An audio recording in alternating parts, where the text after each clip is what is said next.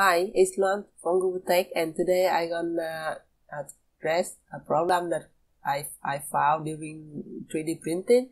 So sometimes you download a model from Thingiverse or from other server, you will have the problem of uh, empty layer detected. I'm talking about PrusaSlicer for Prusa uh, 3D printing only. For example, here um, you can see it's a, a car body, and when I start to slice it, for example, I slide the car. Uh, you can they didn't show the warning here, but um, the old, the old uh, version of Slicer you will see like empty layer detected around here of like um, I don't know one point. Uh, is around like 0, 5.6 up to 5.8 so if you rack the the layer up to here you will see like it completely detaches this part this, this top and the rest of the body. So if you try to print this model it may happen that the two parts of you will not be attached together. So how can we fix this? Um, you can go through the model here.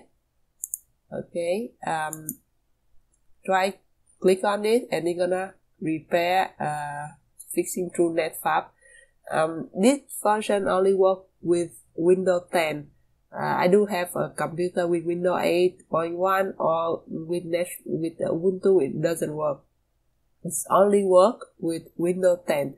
Otherwise, you may need to find uh, other way to fix it through Blender or Netfabb server. With the I think Netfabb now is a um, how to say accumulated to the uh, Fusion 360 so you can try to fix with that.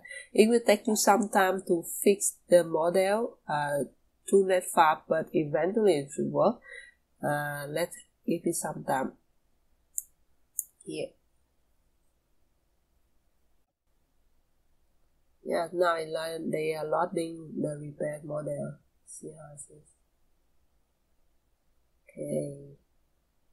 Okay they said it was repaired successful and when you slice now let me see. Yeah you won't see that layer anymore here. See? So now this model now can be printed with Prusa for for for your things. Like just one way to fix um model that you download from the internet with uh, with Prusa and uh, so just to show you this is the uh, the model that I print uh, the car. Is the body it don't have doesn't have problem here and it's here.